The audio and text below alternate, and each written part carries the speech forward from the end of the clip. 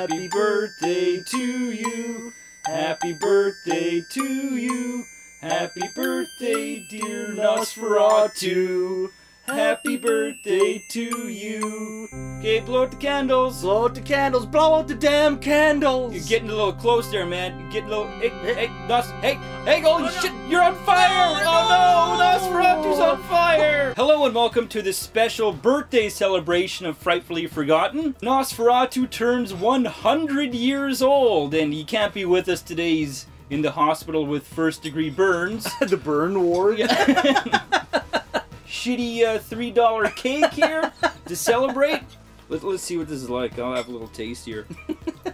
It's probably good. Not bad. Before we get started, what are we drinking? Count Orlok's Secret Stash. Oh yeah. It is fittingly a centennial smash. So the reason we wanted to celebrate Nosferatu's 100th birthday, because it's like a milestone in horror. Probably safe to say that Nosferatu is the first real iconic horror movie of all time. Nosferatu himself is probably the first horror icon of all time. Some horror movies before Nosferatu, but they didn't have the amount of fame, I think, that Nosferatu has. yeah, all those other ones are forgotten. This Yeah. one still everybody remembers it, right? Yeah, like even like the 1910 version of Frankenstein was lost for many years, and it predates Nosferatu, but it's not nearly as iconic. Versions of Dr. Jekyll and Mr. Hyde that came out too, but yeah, none of them really stood the test of time the way Nosferatu does. If you ask somebody what is the oldest horror movie ever, you probably think must be Nosferatu. Most people would probably say Nosferatu. Yeah. The movie is uh, just kind of a loose adaptation of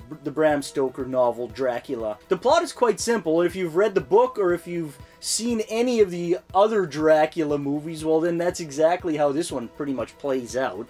You have a Jonathan Harker type character, Hutter?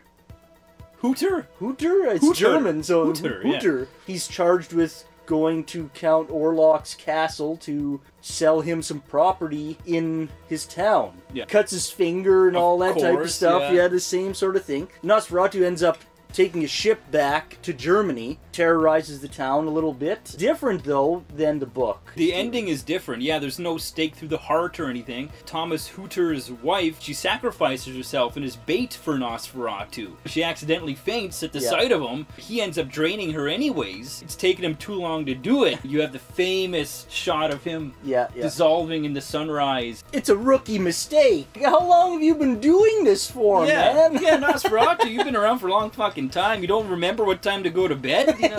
yeah, exactly. Bram Stoker's estate actually tried to sue the production company over the making of this movie because it was obviously a blatant ripoff of Dracula. Yeah. Urban legend whether or not they changed the names and the locations to avoid the copyright sue, or if they did it to just make it more German for German audiences. To me, it seems like they did it to avoid a copyright uh, dispute. Did actually go to court, and Bram Stoker's estate won, and the court actually ordered to destroy all copies of Nosferatu. Which is pretty crazy, Yeah. actually. Enough copies survived where it did actually get released. Yeah. And, you know, thank goodness it did because it was a horror classic that inspired a hundred years worth of horror movies and, like, gothic style visuals. The movie came out during the famous German Expressionist era where films like this were being made, right?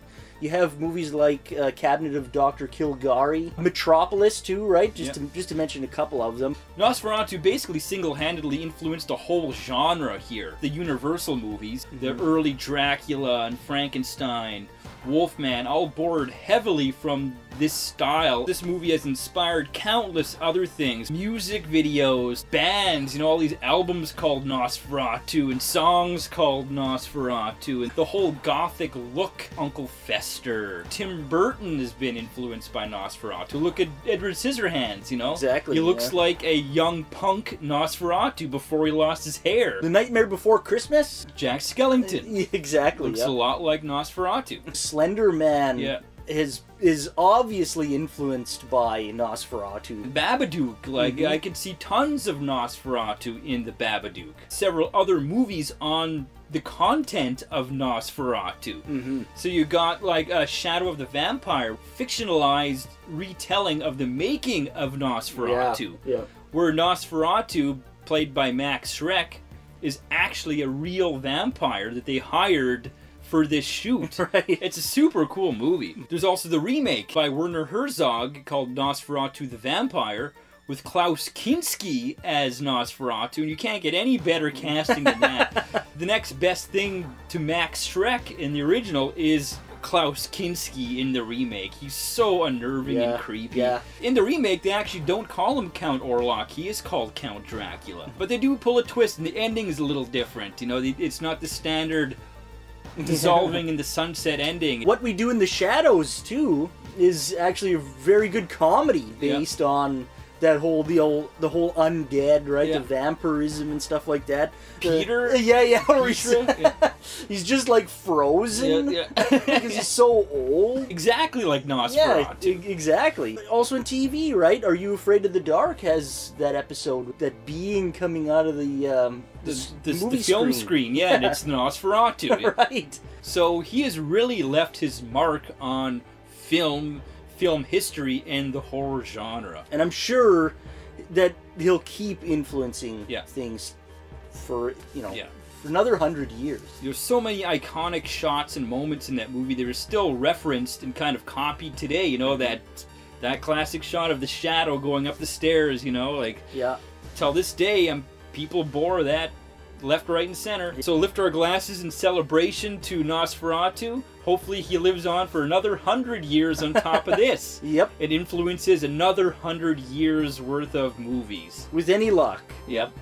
And uh, I don't know if I'll be finishing this three dollar piece of shit cake. Just throw this right in the garbage.